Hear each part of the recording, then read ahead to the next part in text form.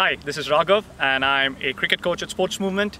In this video, you're going to learn about the basics of uh, batting, which will go through on the techniques of holding the bat, grip, backlift, etc. and some basics of ground fielding as well. So watch out for this video to master these basics.